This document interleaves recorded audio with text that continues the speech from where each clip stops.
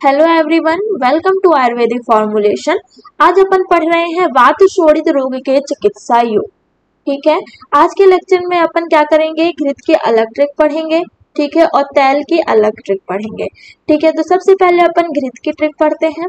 ठीक है? तो कौन कौन से घृत हैं? पारुषक घृत, जीवनीय घृत और स्थिर आदि घृत। ठीक है? तीन घृत हैं, पारुषक जीवनी और स्थिर आदि घृत। ठीक है? और चौथा नंबर का क्या है? लेप है।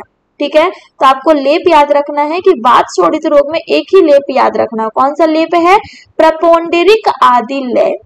ठीक है? क्या है? प्रपोंडरिक आदि लेप एक ही लेप है। और घृत कितने हैं? तीन है। पारुषक घृत, जीवनी घृत और स्थिर आदि घृत। ठीक है? अब इसको याद करने की अपन ट्रिक पढ़ते हैं। तो ट्रिक को अपन सबसे पहले इमेज से समझेंगे कि पारो नाम की लड़की है। वो लेप लगाकर क्या करती है? अपने जीवन को स्थिर कर लेती है। पारो नाम की लड़की है, वह लेप लगाती है और अपने जीवन को क्या कर लेती है? स्टेबल कर लेती है। ठीक है? अब ट्रिक क्या है? कि पारो का जीवन स्थिर हो पुण्य लेप से। ठीक है? क्या है ट्रिक पारो का जीवन स्थिर हो पुण्य लेप से। ठीक? अब अपन ट्रिक को डिकोड करते हैं तो पारो से क्या हो जाएगा? पारुस या पारुषा के घृत, ठीक है?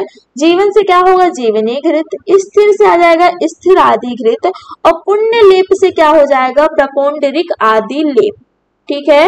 पुण्य पुण्य से क्या हो जाएगा? प्रपोन्डरिक आदि और लेप से क्या हो जाएगा? लेप, ठीक है? तो पुण्य लेप आपको याद रखना है, किसमें वर्णन है? वात शोड़ित में है। पुण्य लेप से क्या हो जाएगा? प्रपोन्डरिक आदि लेप। ठीक है? और जीवन स्थिर हो रहा था। किसका जीवन स्थिर हो रहा था? पारो का स्थिर हो रहा था। तो पारो से क्या हो जाएगा? पारुषक घृत हो जाएगा और जीवन से जीवनी घृत और स्थिर से क्या हो जाएगा? स्थिर आदि घृत ठीक है? तो इस तरह से अपन ने घृत पढ़ लिया और लेप पढ़ लिया। अब अपन बढ़ते हैं आगे तेल की तरफ़। ठीक है? तो तेल कौन कौन से वर्णन किए गए हैं इसमें? तो आपको ध्यान रखना है कि टोटल तेल नौ है। ठीक है? नौ तेल को आपको याद रखना है। कौन कौन से हैं? सबसे पहले आता है मधुक पर्णियादी तेल, ठीक है? सुकुमार तेल, सतपाक मधुक तेल और सतपाक मधुपर्णी तेल, ठीक है? सतपाक से दो दो आ रहे हैं, सतपाक मधुक तेल, सतपाक मधुपर्णी तेल, ठीक है? फिर आता है सत्य या सहस्त्र पाक वाला तेल, ठीक है? तो सत्य सत्य से तीन चीज़ें आ रही हैं, देखिए पहला, सतपाक मधुक तेल ठीक है? सतपाक मधुपर्णी तेल सत या सहस्त्रपाक वाला तेल। ठीक? फिर आता है महापद्म तेल, खुड्डाक पद्म तेल। पद्म से दो है महापद्म तेल और खुड्डाक पद्म तेल, अमृताद्य तेल और पिंड तेल। ठीक है? तो दो चीज़ें तो आपको नॉर्मली आसान सी, आसानी से याद हो जाएगी। सबसे पहले पद्म से दो आते हैं महापद्म तेल, खुड्डाक पद्म तेल। सतपाक से तीन आते हैं, सतपाक मधुक तेल, सतपाक मधुपर्णी तेल, सतपाक पला तेल। ठीक? तो अब अपन इसको याद करने की ट्रिक पढ़ते हैं। तो क्या है? ट्रिक को अपन समझेंगे पहले कि सुकुमार मधु, ठीक है? क्या है कि मधु नाम की एक लड़की है। मधु क्या करती है कि सौ बार अमृत पिंड और दो पद्म का फूल देती है। ठीक है? मधु क्या कर रही है? सौ बार अमृत का पिंड और दो बार कमल का फूल देती है। ठीक है? ये क्या है? अपन ने ट्रिक को समझा। अब ट्रिक क्या है? सुकुमार मधु को। सुकुमार मधु को सौ बार अमृत पिंड और दो पद में दो।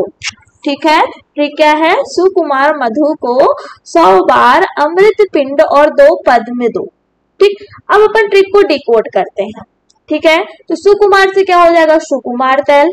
मधु से क्या होगा? मधु कप मधु पढ़ने आदि तेल। ठीक है? अब सत्य से देखिए यहाँ पर तीन चीज़ें आएँगी। कौन कौन सी? सतपाक मधुक तैल। ठीक है? सतपाक मधु मधुपर्णी तेल। सत्य सहस्त्र पाक बला तेल ठीक तो आपको याद रखना है। फिर अमृत से क्या हो जाएगा? अमृताद्य तैल, पिंड से पिंड तैल हो जाएगा और दो पद में से याद रखना है खुड्डाक पद्म तैल और महापद्म तैल। ठीक है?